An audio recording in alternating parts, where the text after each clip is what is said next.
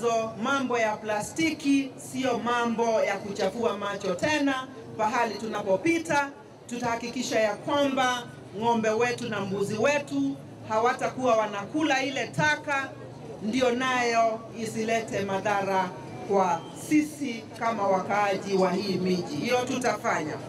na hii maneno ya plastic mshike na mikono yenu yote, kwa sababu plastic for youth kuna kazi pia.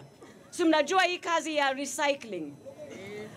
Mkichukua hizo plastic zote mzipeleke hapa kwa Tuskys au kwa Uchumi au kwa Naivas, hapo wakurugenzi wa kufanya recycling wataungana na nyinyi, mnaweza kufanya mifuko, mnaweza kufanya mats na hizi zote mtauza, si ndio?